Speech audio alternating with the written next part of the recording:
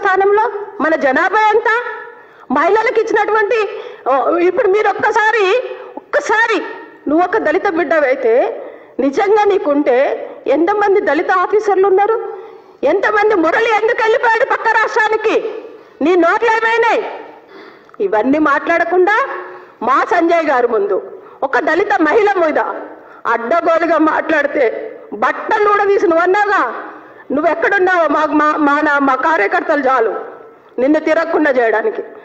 నువ్వు ఎంత నీ నువ్వు నీ నీ రాష్ట్రం ఎంత నువ్వెంత నీ నువ్వు అందులో నువ్వెంత ఈ భారతదేశంలో నువ్వే చెప్పావు మేము ఎన్ని రాష్ట్రాలలో ఈరోజు అధికారంలో ఉన్నాం. ఎంతమంది ఎమ్మెల్యేలు మాతో ఉన్నారు? ఎంతమంది ప్రజానికం మమ్మల్ని బలపరుస్తున్నారు?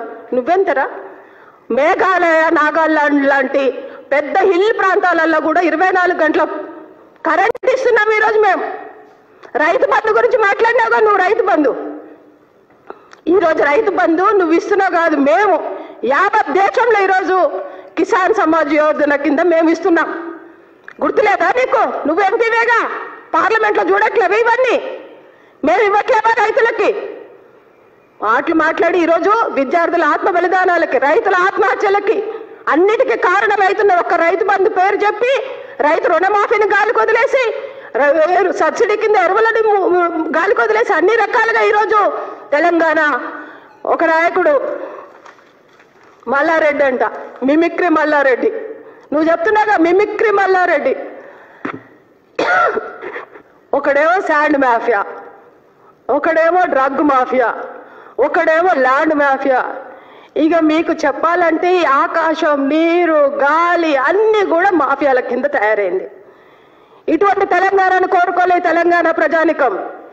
ఖబర్దార్ బిడ్డ ఒళ్ళు దగ్గర పెట్టుకొని మాట్లాడు. భారతీయ జనతా పార్టీ నాయకుల మీద కానీ కార్యకర్తల మీద కానీ మాట్లాడేటప్పుడు మిమ్మల్ని చెప్తున్నాను కుక్కలు తరిమేటి తరిమి కొట్టే రోజులు దగ్గరలోనే ఉన్నాయి. చిప్పకూడు తినే రోజులు కూడా దగ్గరలో ఉన్నాయని చెప్పి గుర్తుపెట్టుకో. మా సంగతి ఏందో మా సత్తా ఏందో భారతదేశంలో ప్రధానమంత్రి నరేంద్ర మోడీ గారి యొక్క సత్తా ఏందో తెలుసుకో. ఏం పెద్ద మనగాళ్ళ? లల్లు కంటే పెద్ద మనగాడ మీ కేసీఆర్?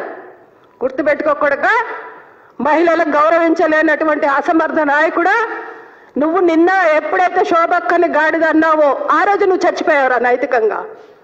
నిజంగా నువ్వు లీడర్వే కాదురా. నాకు ఇంకా ఎమోషన్ వస్తుంది.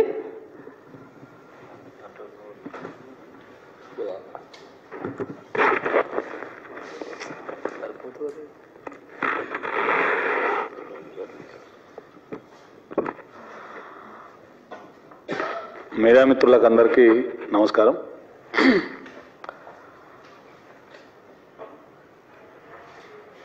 నిన్న మొన్న జరిగినటువంటి జ్యోతిరావు పూలే బాబాసాహెబ్ అంబేద్కర్ గారికి సంబంధించినటువంటి విగ్రహావిష్కరణల సభ కార్యక్రమంలో అది సాయంత్రం పూట అయినట్టుంది. ఆ పుట్టమధు తర్వాత పెద్దపల్లి ఎంపీ వెంకటేష్ గారు ఇద్దరు. చాలా రోజుల నుంచి వీళ్ళిద్దరి మధ్యలో కేసీఆర్ వీళ్ళిద్దరిని దగ్గర రాణిస్తున్నట్లేదు ఈ మధ్యలో. ఎందుకంటే పుట్టమధు ఈ రాష్ట్రంలో ఇద్దరు న్యాయవాదుల దంపతుల హత్య కావచ్చు. అదేవిధంగా వెంకటేష్ గారు గెలిచినాక అక్కడ ఉన్నటువంటి పెద్దపల్లి కా కాన్స్టిట్యున్సీలో ఏనాడు కనిపిస్తాడని చెప్పేసి కేసీఆర్కు అక్కడ టీఆర్ఎస్ పార్టీకి బాగా కోపం ఉంది ఇద్దరు మధ్యలో. అదే వాళ్ళకు అవకాశం వచ్చింది మొన్న మంతన్లో జరిగినటువంటి కార్యక్రమం ఏదైతే ఉన్నదో అది మా కేసీఆర్ని తెచ్చింది కదా. చలో ఈ అవకాశం వచ్చిందని చెప్పేసి బాబాసాహెబ్ అంబేద్కర్ గారు జ్యోతిరావు పూలే సంబంధించినటువంటి కార్యక్రమంలో వారు మాట్లాడుతుంటే మరి ఏం దాగిరో ఏం దలగబడ్డదో ఏమన్నా డ్రగ్గింగ్ తీసుకునే నిన్న నలుగురు ఎమ్మెల్యేలు ఏమైనా డ్రగ్స్లో ఉన్నట్టుంది ఇలిగిన ఉన్నట్టుంది. డ్రగ్గింగ్ తీసి తలగబట్టుకునేవో కానీ అరే ఒకటే యాప కొమ్మలు పట్టుకొని ఊగినట్టే ఊగుతున్నారు ఇద్దరు. ఆ పుట్ట గారికి ఏమైనా దమాకున్నదా ఏమన్నా? మంతల్లా పుట్ట పుట్ట ఉలగొడితే మన తీసుకుపోయి జడ్పీ చైర్మన్ చేసిన కేసీఆర్ చేసినట్టుంది.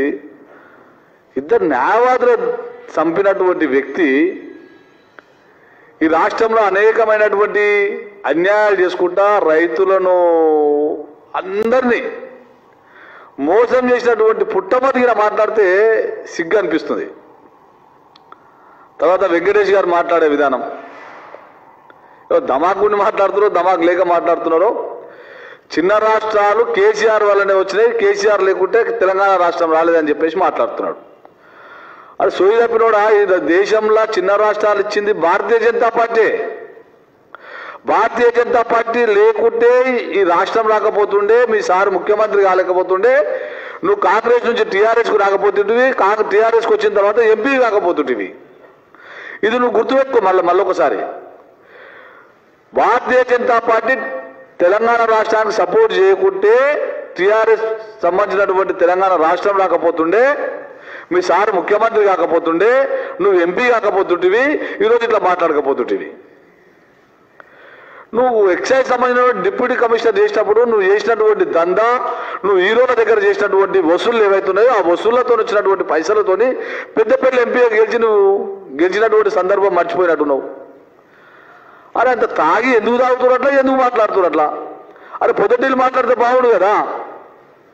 మీ కేసీఆర్ దగ్గర ఏమైనా ఉడిగం చేసుకోవాలనుకుంటే ఆయన దగ్గర మంచి చేసుకోవాలనుకుంటే ఎట్లా మీకు టైం ఇస్తలేడు? ఈ రకంగా మాట్లాడితే సోషల్ మీడియాలో టీవీలో కూడా మాట్లాడితే మమ్మల్ని దగ్గర రాణిస్తాడని చెప్పేసి మేము భావిస్తున్నట్టుంది. ఈ రాష్ట్ర ప్రజలంతా మీరు చీదరించుకొని మిమ్మల్ని దగ్గరగానే రాణిస్తలేరు రాబోయే రోజుల్లో ఆయన దగ్గర అసలు ఈ ఇంత గలీజ్గా ఇంత వ్యవహారికం ఈ రాష్ట్రంలో ఏం నడుస్తుంది ఏమైతున్నది? మీ సాధించినటువంటి హామీలకు రోజు విద్యార్థి బలిదానం అవుతున్న సందర్భంగా ఈ రాష్ట్రంలో దళితులు ముఖ్యమంత్రి చేస్తానని చెప్పేసిన సందర్భంగా దళితులకు మూడెకరాల పొలం ఇస్తున్న సందర్భంగా డబుల్ బెడ్రూమ్లు ఇస్తున్న సందర్భంగా అనేక హామీలు ఇచ్చినటువంటి మీ కేసీఆర్ను ఒక్క నారాయణ అడిగినారు మీరు పోయి. ఆయనేమో పెద్దపల్లి జడ్పీ చైర్మన్ అయ్యిండు ఈయనేమో ఎంపీ అయ్యిండు. మీరు ఎప్పుడైనా ఈ దళితుల గురించి కానీ దళితుల పక్షాల గురించి ఎప్పుడైనా మాట్లాడే సందర్భం ఏమైనా పోయిరా అని చెప్పేసి మేము అడుగుతా ఉన్నాం. కాబట్టి పుట్టమధు నువ్వు జైలుకు పోయే టైం దగ్గరకు వచ్చింది నువ్వు నాలుగని దగ్గర పెట్టుకొని మాట్లాడితే మంచిది. బండి సంజయ్ గారి గురించి మాట్లాడేంత సత్తా నీ దగ్గర ఉన్నారా వాడు అంటుండు వెంకటేష్ అంటుడు మా సార్ ఆపుతుండు కాబట్టి మేము ఊకుంటున్నామని చెప్తే. మీ సార్ వదిలితే ఏం చేస్తారు? ఆర్టీగా వంద ఎకరాలు కబ్జా చేస్తారు లేకుంటే నాకు ఆయన చంపుతారు. మీరు చేసేది ఇంతకన్నా ఎక్కువ ఏం లేదు మీ సార్ వదిలితే. ఇప్పుడు చేస్తున్న వాళ్ళకి ఎక్కువ చేస్తారు. కాబట్టి పుట్టమధు వెంకటేశు మీరు కాన్స్టిట్యూన్సీలో బండి సంజయ్ గారి గారి గురించి ఎక్కువ మాట్లాడితే రాబోయే రోజుల్లో మిమ్మల్ని తిరగనియ మీ రాష్ట్రంలో అని చెప్పి చెప్తున్నాం. ఒళ్ళు దగ్గర పెట్టుకొని మాట్లాడితే మంచిది. బట్టలు మా ఊడితే మీ ఊడితే రాబోయే రోజుల్లో తెలుస్తుంది. మీ బట్టలు ఊడగొట్టుక మాత్రం ఖాయం. ఆ లాంగ్వేజ్ మాట్లాడే పద్ధతి ఏదైతుందో మీకన్నా ఎక్కువ మాట్లాడతాం. మీకన్నా ఎక్కువ చెప్తాం. మీ సార్ నేర్పించిందే తెలంగాణ రాష్ట్రంలో. ఈ పదజాలాన్ని మీ సారే నేర్పించిండు. మీ సార్కి తిప్పి కొడతాం మళ్ళీ ఇంకోసారి.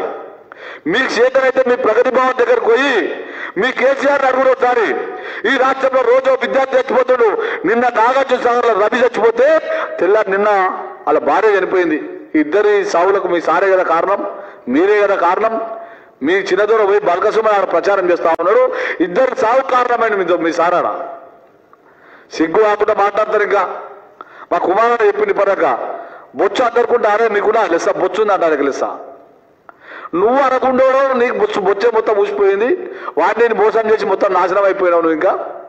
తెల్లా చేస్తే ఓటి మోసం చేద్దామా? ఎవరి భూములు కబ్జా చేద్దామా? ఎవరిని మర్డర్ చేద్దామని ఆలోచన చేసి పుట్టమొదిగిన మాట్లాడుతున్నాడు. అయితే మొత్తం బొచ్చుందని చెప్పేసి.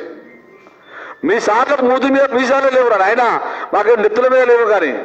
మీ కేసీఆర్కి లేవు మీ కేటీఆర్కి లేవు. చాలా మందికి మూ- మూతి మీద మీ సార్లు లేవు. నిన్న మొన్న డ్రగ్స్ మాఫియా రేపు ఎల్లుండో బయటపడుతుంది నలుగురు ఎమ్మెల్యేలు ఉన్నారు కదా డ్రగ్స్ మాఫియా అందులో మీరు ఇద్దరు ఉన్నట్టుంది.